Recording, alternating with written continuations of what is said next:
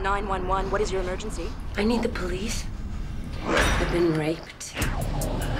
In my home, in my bed. Is your door locked? You're the fifth victim of a serial offender we call a balcony rapist. It's a covert investigation. You know what? If you don't warn the women around here that we're all sitting ducks, I will. You do any such thing, and I will look at having you arrested. I was raped one week after the police knew exactly who was at risk. They sat outside watching the night I was raped. They didn't serve or protect me.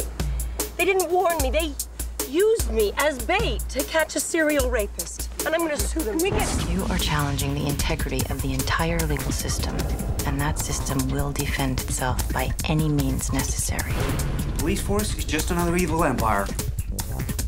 I'm only taking them down. I'll give you the case. We require a full psychiatric examination.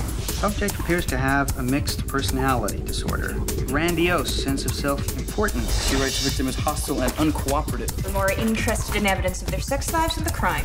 The Metro Toronto Police willfully violated her charter rights to personal safety and security because she is a woman. Please do not exercise your alleged need for control and attention on the court's valuable time. I will not agree that it was a good thing No was further raped if that is what you are after. Nobody in their right mind is going to take this obviously transparent attempt to assassinate my character seriously. Aren't you ashamed of yourself, don't Mr. go Hudson? making me the rat here, pal. I left the day I pictured my wife or my daughter calling us for help, and I didn't like the odds, and none of these guys should. The police chose to allow a serial rapist to continue raping. They used me as bait to catch him in the act. That made more sense to them than protecting me. That shattered my life.